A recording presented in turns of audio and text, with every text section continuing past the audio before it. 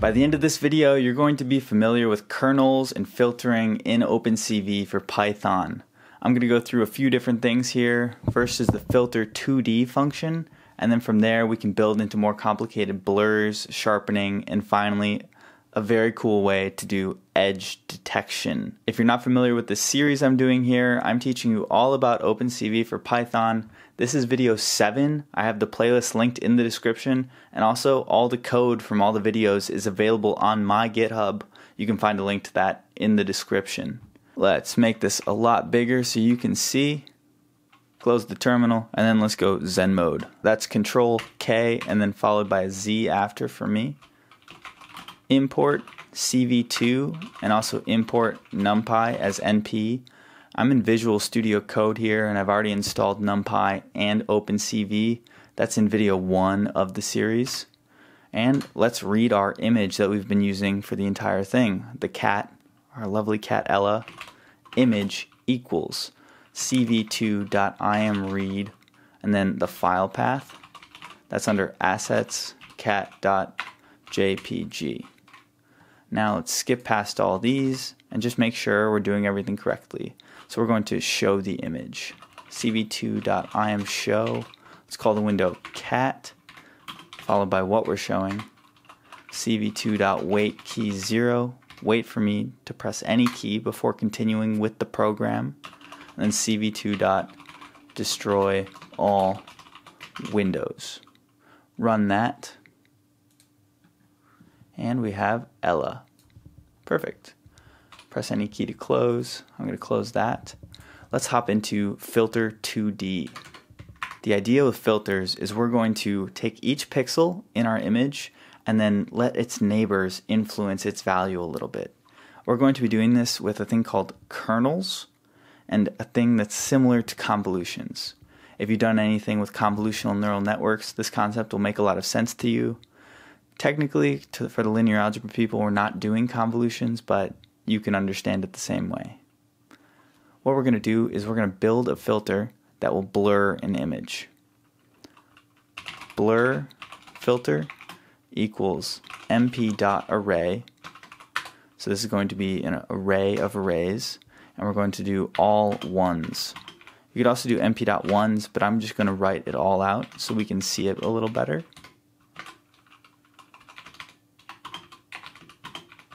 So this is a 3 by 3 array of 1s. And then I'm going to divide everything by 5, so all the values are at 0.2. Blur filter equals blur filter divided by 5. And that divides every single value by 5. This is just a 3 by 3 matrix, and all the values are 0.2.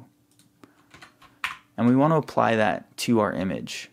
If you remember, image is just a numpy array with pixel values. So we want to have this as a sliding window that goes over every single pixel and say, hey, also take some values from the pixels around you. How are we going to do that? We're going to rewrite image cv2 dot filter 2d. What are we filtering? Image, and then we're going to do this thing called d depth equals negative 1. That stands for destination depth. We don't want to change anything, so we're just going to put a negative 1. You could change your types, like change things from 8-bit uh, floats to 16-bit floats or something to ints, but we don't need to mess with any of that. And then finally, we're going to do a kernel. That's like our sliding window, and that will be a blur filter. I'll put this on a new line. So now if we show img, we've messed with img, added the blur filter, it should be a little blurry. Run that. And yeah, it's a little blurry. Things look overexposed and kind of messed with, and that's exactly what we're going for. If I comment out this line and we rerun it, that is the effect. This was the original, and this is what applying a kernel uh, to the entire image looks like. We're basically summing up values from all the neighboring pixels to make it, well, overexposed in this case.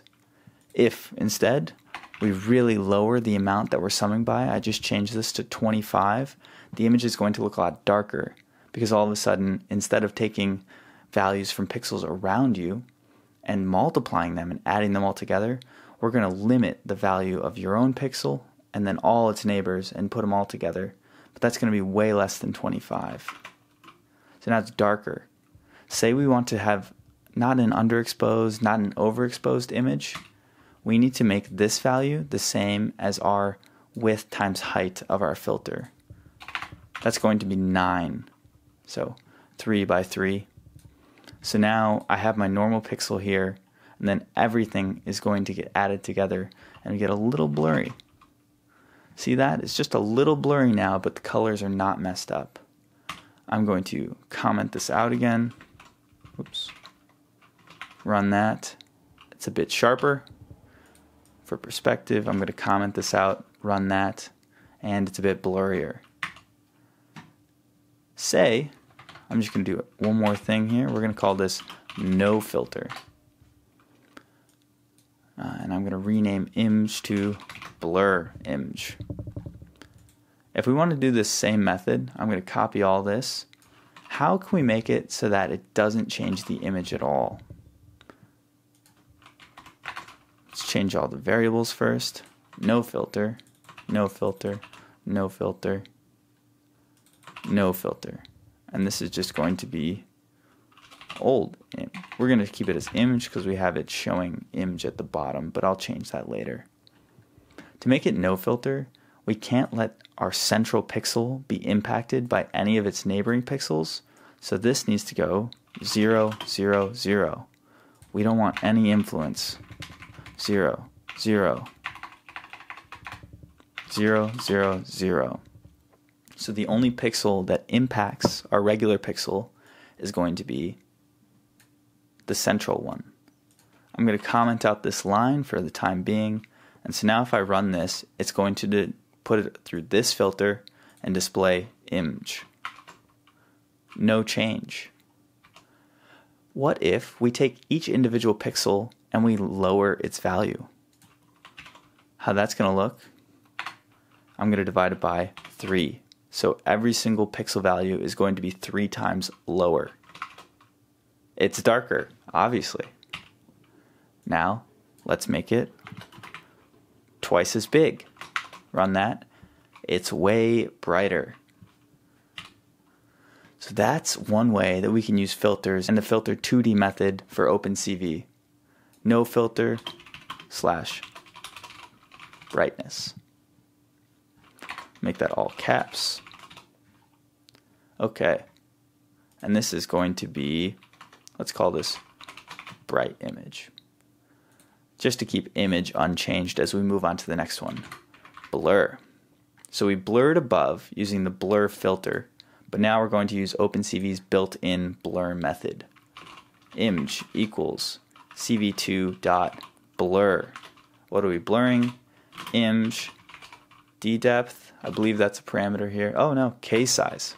There we go. K size equals in this case, for this blur filter, our K size was 3 by 3. We're going to make our K size a bit bigger now. 11 by 11. Let's run that. Pretty blurry. Let's make it even bigger.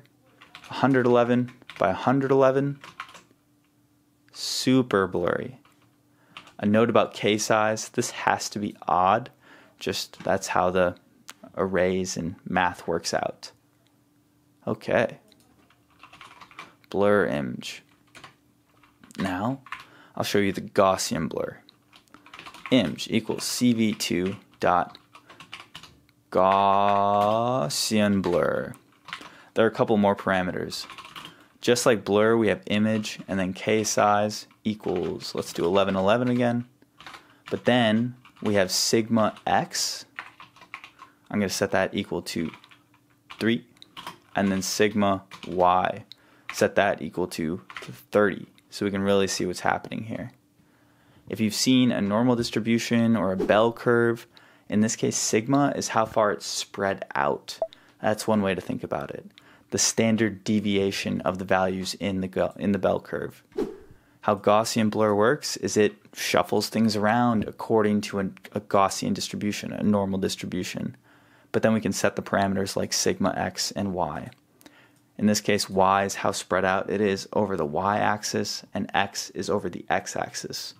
So if we run this, we can see that it's nice and blurry. I don't really have the eyes to tell the difference here, but maybe some of you do and you can tell how it's stretched out more in the y-axis than the x-axis. All right, moving on, we're going to sharpen. Sharpening requires a little different tactic, but back it requires the filter 2D method. So I'm going to go back, copy this blur filter code, bring it down to sharpen, and let's quick change the variables. Sharpen filter, we don't need this line. I'm going to delete it with Control D. Kernel equals sharpen filter. And this we're just going to title image for now. The idea behind sharpening is you need to make a bigger difference between your central pixel and all its neighboring pixels. How you're going to do that is you're going to make it negative in the filter values and then more positive for the central pixel value. Let's start by changing all the corners to zero. and now all the ones on the outside to negative 1. Just a note that they could be negative 2, you can make it negative 5. So if you add up all the, the four negative ones, it's going to be negative 4. This central value has to be greater than negative 4. Otherwise, everything's just going to get canceled out. I'm going to make it 5. So let's filter that sharpen filter, and we're going to see the original image get a bit crisper Oh, I think I'm still showing the wrong thing. I didn't change Gaussian blur to. So now we're not overwriting image with the Gaussian blur. We're just have the original image that we're going to apply the sharpen filter to. Run that, and there you go. It looks crisper, obviously a little unnatural. I'm sure you use, use the sharpen filter on Instagram or something like that, but uh, that's what the impact of separating pixels from each other looks like. I'm going to comment this out so we can see the original image again. Pretty normal looking. And then re-comment, re-uncomment it. And everything looks a bit sharper and crisper, kind of unnatural. That's how you sharpen an image. I'm going to retitle this to sharp image moving on to edge detection. We don't need color for edge detection. We're really just looking at changes in light. And how we're going to do that and uh, take advantage of that is convert everything to gray. If you've been following along with the tutorial series, I'm sure you've seen CVT color before. We're going to convert it from the blue, green, red color scale to gray image and then CV2 dot all caps color, blue, green, red to gray. By the way, if you're finding this helpful, feel free to give it a like, a thumbs up, leave a comment if you have any questions, and also you can subscribe so you can get more videos from me in the future. Okay, we also don't need gray image to be as crisp as possible, so we're going to blur it a bit. This helps us reduce noise when we're looking at edges gray image equals CV2 dot, we'll use the Gaussian blur. We can just scroll up, copy that code, bring it down. okay, delete that. Let's make our kernel pretty small. We don't need to blur it that much, but we only need to reduce a little bit of noise and sigma x1, sigma y1. So now our image is a little blurry and also grayscale. What is next? We're just going to apply the built-in Laplacian function that is in OpenCV. There's a form of blurring called Laplacian that we'll be showing you. There are other forms of blurring, but this one looks at multiple directions, and other forms only look at x lines or y lines.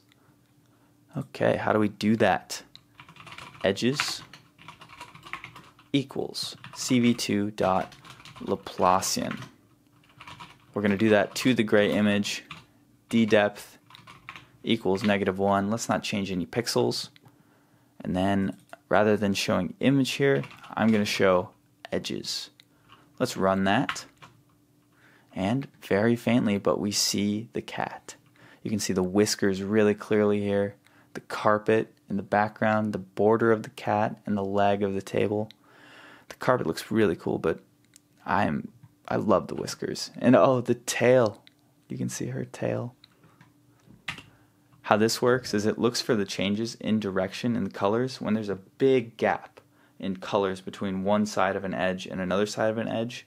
That'll trigger the Laplacian filter and be like, hey, let's return one here. We had definitely have an edge. There's a big boundary in color change from here to here. But in this case, because we're doing gray, it's more like a light change thing. And that's it.